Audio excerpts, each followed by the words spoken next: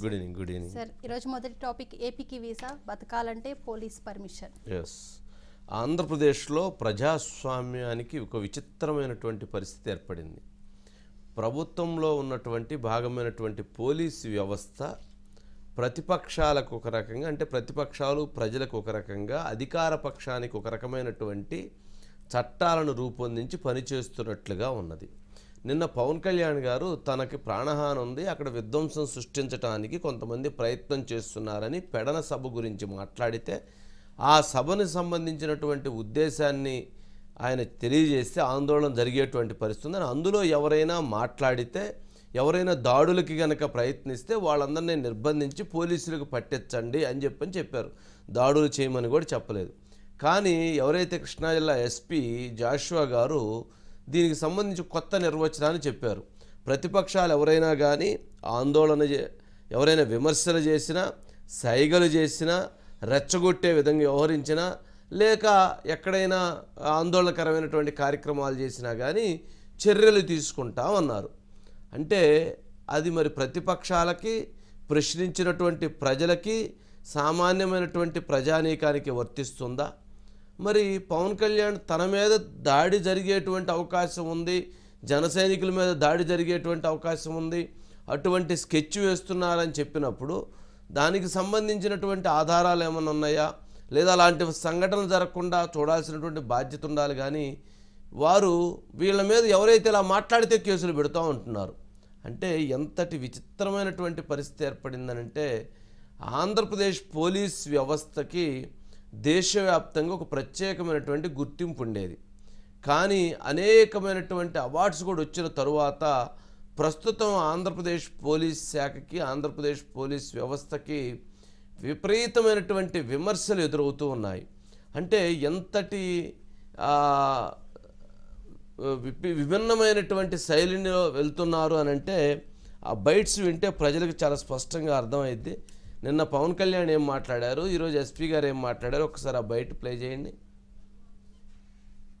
ఇప్పుడు నాకున్న ఇన్పుట్ కూడా ఏంటంటే రేపు పెడల్లో జరగబోయే కార్యక్రమంలో వైఎస్ ప్రభుత్వం కొంతమంది గూండాలని కొంతమంది క్రిమినల్స్ని పబ్లిక్ మీటింగ్లోకి జొప్పించి రాళ్ళ దాడి చేద్దాం గొడవలు చేద్దామని చాలా పగడ్బందీగా వ్యూహం చేశారని తెలుస్తూ ఉంది. గొడవలు సృష్టించి గొడవలే కావాలని పెట్టుకుంటే మటుకు ఏ మాత్రం మేము సహించాం. మాకు మీద రాళ్ళ దాడి జరిగిన క్రిమినల్స్ అటాక్ చేసిన దీనికి బాధ్యత సంపూర్ణంగా రాష్ట్ర ప్రభుత్వమే భరించాల్సి వస్తుంది. రాష్ట్ర హోంమంత్రి కూడా బాధ్యత వహించాల్సి వస్తుంది. ముఖ్యంగా జగన్కి చెప్తున్నాను వైఎస్ జగన్కి మీరు పులివెందల తొలాలకు రౌడీజం ఇక్కడ చూపిస్తే మేము భరించి కామ్గా చూస్తే వ్యక్తులం కాదు మేము.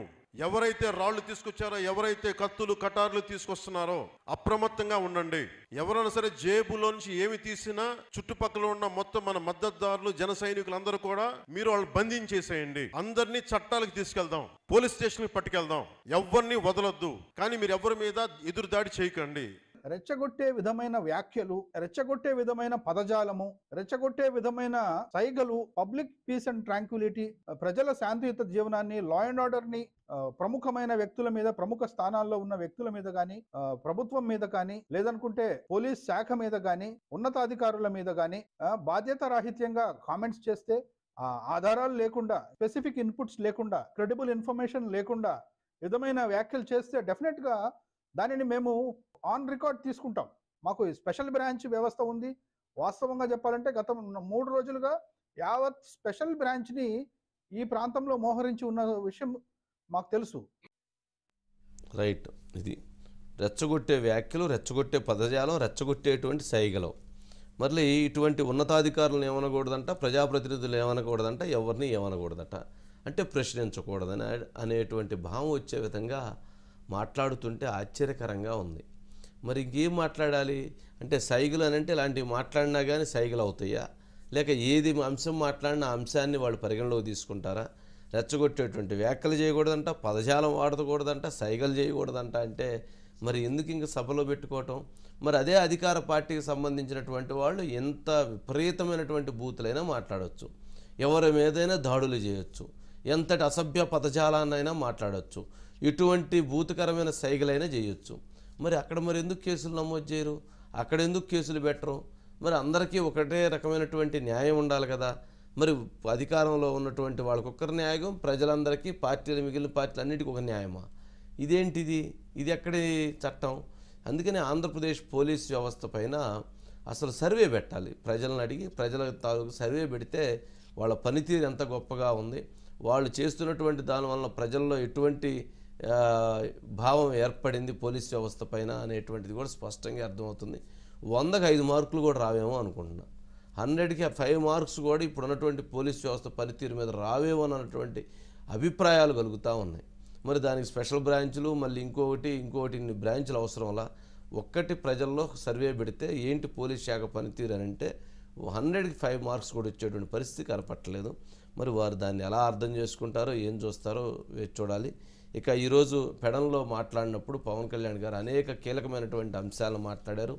తెలుగుదేశం జనసేన ఖచ్చితంగా కలిసి పోటీ చేస్తాం వైసీపీని ఓడిస్తామని చెప్పారు. వాటితో పాటు వైసీపీని రూపాయి పావలా ప్రభుత్వంగా వ్యవహరించ మా వ్యాఖ్యలు చేశారు. అదేవిధంగా ప్రభుత్వానికి సంబంధించి అన్ని అక్రమ కేసులతో వాళ్ళు బెదిరించి ఇచ్చేస్తున్నారు అనేటువంటి కామెంట్ చేశారు. ఒకసారి బైట్స్ ప్లే చేయండి. ఒకటే మాట చెప్తాను జన సైనికులందరికీ తెలుగుదేశం నాయకులకి తెలుగుదేశం కార్యకర్తలకి. నేను మీ అందరితో కలిసి ఉన్నాను మనందరం కలిసి ఉన్నాం సమిష్టిగా ఎదుర్కొందాం దుష్ట పాలన అంతముద్దిద్దాం మనందరం కలిసే ఉన్నాం వైసీపీని సాగనంపుదాం. మన మీద తెలుగుదేశం నాయకుల మీద కేసు వస్తే మా వాళ్ళు వస్తారు. మా వాళ్ళ మీద కేసు వస్తే మీరు రండి. మీ నాయకుల కోసం మే మీరు మీ కార్యకర్తల కోసం మా కార్యకర్తలు. ఒకరి కోసం ఒకరు అందరం సమిష్టిగా పోరాటం చేసి వైసీపీని తరిమేద్దాం. రాయలసీమ నుంచి ఆంధ్రప్రదేశ్ ఉత్తరాంధ్ర వరకు ఒకటే మాట ఒకటే బాట.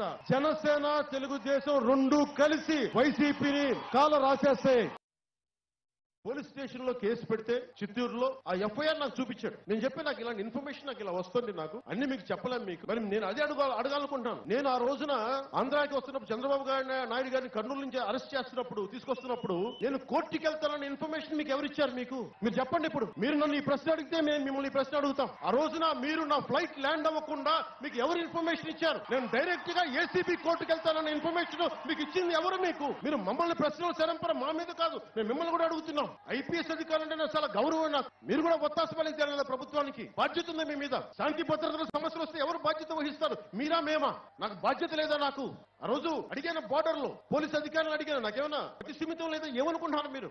నేను వెళ్ళి ఏసీబీ కోర్టుకి వెళ్తానా? నేను వెళ్ళి కోర్టు విధులు నేను ఎక్కడైనా సరిచూరు ఆటంకాలు కలిగిస్తానా? ఎవరు చెప్పారు మీకంటే? మాకు ఇన్పుట్స్ ఉన్నాయంటారు ఎవరంటే ఇన్పుట్స్ ఇచ్చింది మీకు? నా ఆఫీస్కి నేను వెళ్ళటానికి నా ఇంటికి నేను వెళ్ళటానికి బోర్డర్లు ఆపేస్తారా నన్ను మీరు?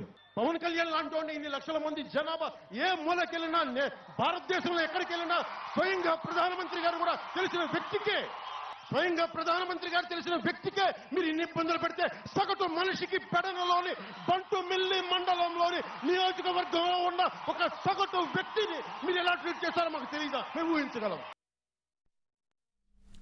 రైట్. ఇది ఏపీలోకి రావాలంటే వీసా కావాలా? మరి వీసా తీసుకొని రావాల్సినటువంటి పరిస్థితి కల్పి చేస్తుంది ప్రభుత్వం అని చెప్పని విమర్శిస్తున్నారు. దీనికి సంబంధించి మురళి ఉన్నట్లున్నారు. ఇవాళ కూడా అనేకమైనటువంటి ఆంక్షల నడుమ తరలి వచ్చినటువంటి చాలామందిని నిర్బంధించారు రానియకుండా ఆపివేశారు. మరి వాళ్ళందరినీ కూడా రానే అంటే జన సైనికుల్ని సభా ప్రాంగణానికి చేరకుండా అనేక దగ్గర పాయింట్స్ పెట్టి ఆపివేసినటువంటి పరిస్థితి ఉంది. Right Murali. Sir good evening sir. Good evening Murali. ఏంటి పెడల్లో ఈరోజు పవన్ కళ్యాణ్ వ్యాఖ్యలను ఎలా చూడాలి? ఆయన మాట్లాడిన అంశాలను ఎలా అర్థం చేసుకోవాలి? చాలా అంశాల విషయంలో ఆయన చాలా స్పష్టత ఇచ్చారు. అంటే ఏపీకి రావాలంటే వీసా తీసుకోవాల్సిన పరిస్థితి ఏర్పడుతుంది.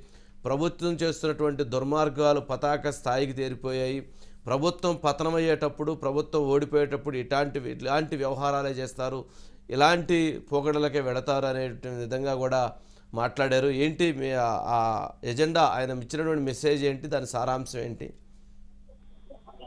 కానీ ఈ రోజు ఏదైతే ఫెడరల్ నియోజకవర్గం సంబంధించిన కానించి రాష్ట్ర అంశాలు అదేవిధంగా కూడా కేంద్ర ప్రభుత్వంతో ఉన్నటువంటి సత్సంబంధాల్లో కూడా చాలా వివరంగా చాలా క్లారిటీగా కూడా మాట్లాడారు. దాదాపుగా గంటకు పైగా తన ప్రసంగంలో స్థానికంగా ఎవరైతే ఇక్కడ ఉన్నటువంటి శాసనసభ్యులు శాసనసభ్యుల పేరు గాని మంత్రి పేరు గాని ప్రస్తావించకుండా స్థానిక ప్రజాప్రతినిధి చేస్తున్నటువంటి అంశాలండి. ఎందుకంటే ఇటీవల కాలంలో ఇసుక అక్రమ రవాణా చేస్తున్నప్పుడు ఒక ఘన సైనికుడిని పట్టుకుని కట్టేసి అక్కడ అంబేద్కర్ విగ్రహాన్ని కట్టేసిన అంశం కాడి రాష్ట్రంలో ఏదైతే జగన్మోహన్ రెడ్డి సర్కార్ ఒక రూపాయి పావల సర్కారుగా అభివర్ణించారు. ఎందుకంటే దానికి ఒక కథ చెప్పారండి ఆయన.